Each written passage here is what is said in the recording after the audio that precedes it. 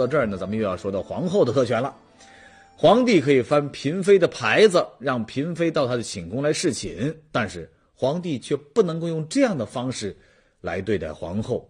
不光是不能用这样方式对待皇后啊，按照清宫规定，皇后在侍寝的问题上也有特权。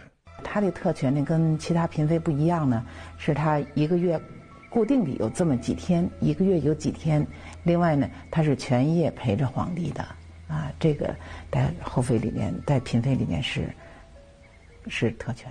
不过说一千道一万，皇后的权力再大，特权再多，她也多不过一个人，谁呢？皇帝的老娘太后。那这才是清朝后宫当中权力最大的女人。比如说孝庄太后、慈禧太后，这都是典型人物啊。不过，身为太后，权力虽大，可是他们也不可以为所欲为。为什么呢？这里咱们就举例说明啊，具体就拿孝庄太后来说。众所周知啊，在清宫女人当中，孝庄太后那是最为传奇的。她十三岁嫁给皇太极，皇太极死后，她力挽狂澜，先后辅佐顺治和康熙两代帝王，成为历史上不可多得的女政治家。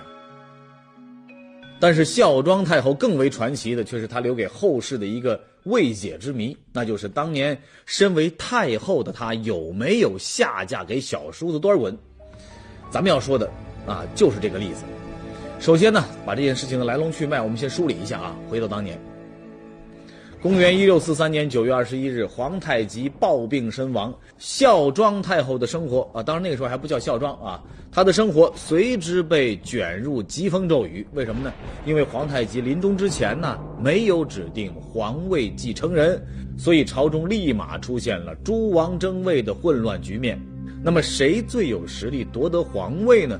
有两个人，一个是皇太极的长子豪格，另一个则是皇太极的弟弟多尔衮。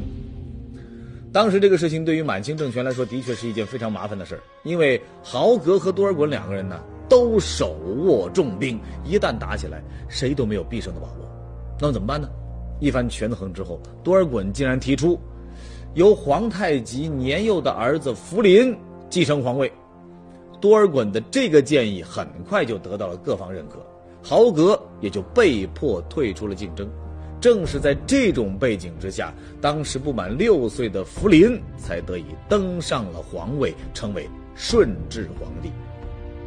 问题来了，当时多尔衮的实力，按说比豪格还要略强一点，那么他为什么却突然主动放弃竞争资格呢？令人想不通的还有，那就是清军入关之后啊，咱们知道吴三桂打开山海关放清军入关，当时和他达成协议的就是多尔衮。多尔衮不仅率军一举占领北京，更以摄政王的身份总揽朝政，而当时的福临还在关外。依照当时的情况，多尔衮完全可以和满清政权分庭抗礼，甚至自立为皇帝。因为无论从战功还是军队实力，已经没有人能够跟他一争长短了。但是多尔衮依然没有这么做，而是把孝庄和他的儿子顺治接到北京，正式开始了统治中原的顺治朝。为什么会这样？也就在这个时候，孝庄太后下嫁摄政王多尔衮的消息开始成为全天下最大的绯闻，传闻就是从这个时候开始的。那么，孝庄太后到底有没有下嫁给多尔衮呢？下节接着。